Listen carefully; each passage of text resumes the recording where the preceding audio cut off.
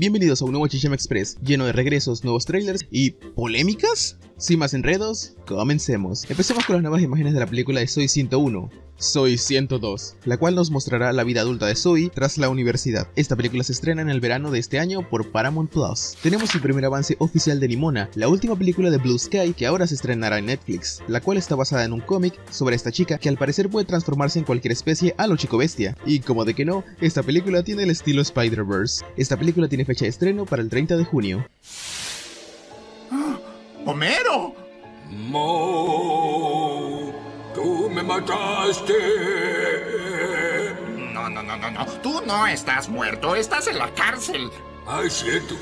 Y hablando de Netflix, ¿recuerdan aquella película de Ladybug que se estaba haciendo con un mayor presupuesto que recontaba los orígenes de estos héroes pero que no tenía fecha de estreno para este lado del mundo? Pues ahora la tiene, y será el 28 de julio por Netflix. Lo que se me hace curioso ya que esta película fue pensada para cines y de hecho en otras partes del mundo sí se estrenará en cines, además de que sí existe un fuerte fandom latino de estos personajes. Lo que me da dos opciones, o ninguna distribuidora quiso arriesgarse o Netflix fue más rápido. Y hablando de recordar, ¿recuerdan el live action de las chicas superpoderosas que estaba haciendo CW y que luego se filtró el guion del piloto mostrándonos que tendría un tono como Riverdale o las series de adolescentes de Netflix y no en el buen sentido y que aparentemente los ejecutivos estarían molestos con el resultado por lo que reanudarían la producción desde cero? Pues híjole, creo que ya no se va a poder porque acaban de confirmar que el proyecto ya no forma parte de los planes de la compañía. Bueno, aunque la idea tenía potencial, viendo el primer resultado creo que fue lo mejor. Lo único bueno que salió de todo eso fueron las fotos de Dove Cameron como burbuja. Pero hey, aún tendremos una nueva serie de las chicas superpoderosas serializada y animada de la mano de Craig McCracken.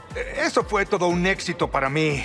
Tenemos un nuevo avance de la nueva temporada de Futurama, la cual llegará el 24 de julio a Hulu, aunque para esta parte del mundo es posible que llegue a Star Plus. Sé que normalmente no hablo de fútbol por acá, pero me enteré que sacaron el nuevo logo para el Mundial 2026 y pues... ¿Qué pasó? Entiendo que a día de hoy el minimalismo y las figuras simples están de moda, el menos es más y ese tipo de cosas, pero literalmente esto es un 26 con la imagen de la copa en PNG. Digo, se supone que los logos deben representar la respectiva sede, pero este logo no me dice nada, literal, de no ser por el hecho de que la copa sí está bien recortada, esto es tal cual el meme de el diseño gráfico es mi pasión.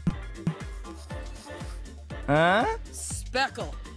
You son of a bitch. Y hablando de fútbol, se acaba de confirmar finalmente el regreso de campeones Sendokai con su tercera temporada titulada Sendokai Generations. Aún no hay fecha de estreno, pero estaré pendiente de ella. Este sí es el verdadero fútbol. Y ya por último nos queda el tema del momento, y es que a pocas semanas de su estreno, pareciera que alguien en Hollywood le dijo a Sony Entonces hazlo, aprovecha de hacer polémica.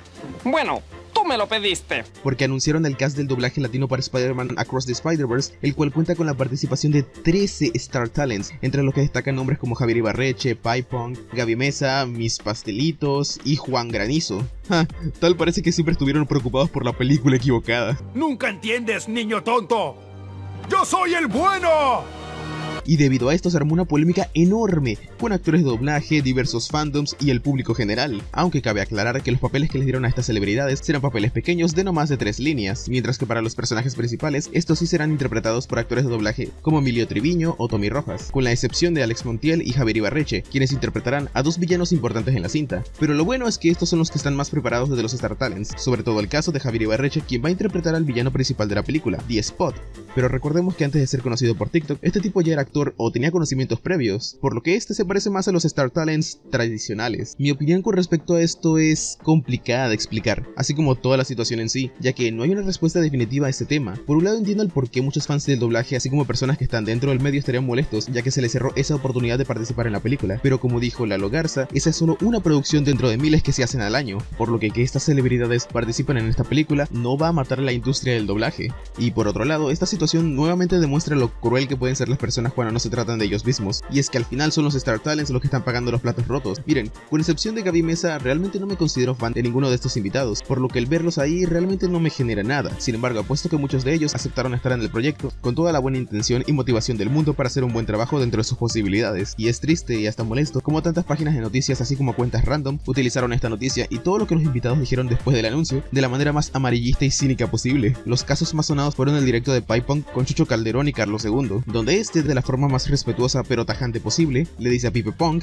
que están en la película no por su talento, sino por sus números, lo cual no es mentira y estoy seguro que muchos están conscientes de ello, pero como dije, aun con lo fuerte de la frase del señor Carlos II, trató de no ser grosero ni de demeritar el trabajo de Pipe Pong. es, una, es un movimiento mercadológico, sin menospreciar lo No, que no, hacen no. ustedes. ¿eh? No, no, no. Mientras que en todos lados se viralizó únicamente el fragmento donde dice la frase y lo catalogaban como la papiada más grande de la historia. O más recientemente el caso de Juan Guarnizo, donde supongo que tras tanto acoso reveló que no le pagaron por su participación y aparte reveló cuánto le hubiesen pagado a un actor en su lugar, cosa que al igual que el polémico clip de su cama, por culpa del calor del momento en vez de calmar las aguas, lo que hizo fue poner todo peor. Y miren, con esto no digo de pobres Star Talents, no se les puede criticar ni nada de eso. Yo sé que el trabajo no va a ser igual al de un actor de doblaje, y viendo escenas como las de Pipe Pong, como Spider-Man Metro, pues sí deja mucho que desear su interpretación, pero sí siento que mayormente el hate está yendo a las personas equivocadas, y no al verdadero culpable, el cliente.